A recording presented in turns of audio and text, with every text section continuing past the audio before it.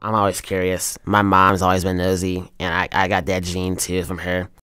Being curious, being asking the why questions all the time. That's part of me, and that's why I want to do what I do. My name is Emmanuel Morgan. I'm a junior.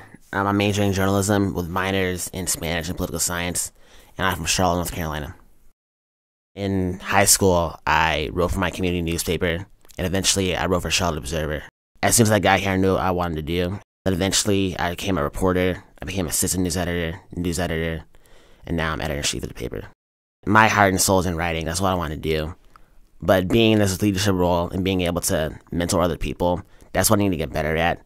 So it's a struggle, but I'm I'm getting through it and I'm learning how to do it.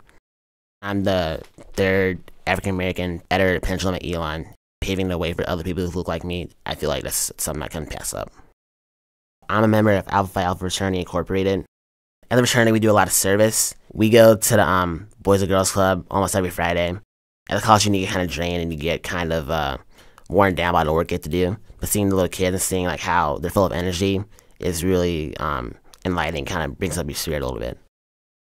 I go into the Creed almost every week. Serve, it serves a great purpose. People come in there, they just like basically they take their layers off. It's cool just to see how people are honest, how people aren't scared to be themselves. I chose Elon because it's a really, really small school, and I like that. I know I could make a name for myself, and it's honestly it was, it was a perfect choice for me. It's been a great two and a half years so far. My goals are to get out, to um, get a job anywhere I can, preferably at a newspaper covering the NFL. But beggars can't be choosers, so as long as I'm just reporting on what's happening in the world, I'll be happy.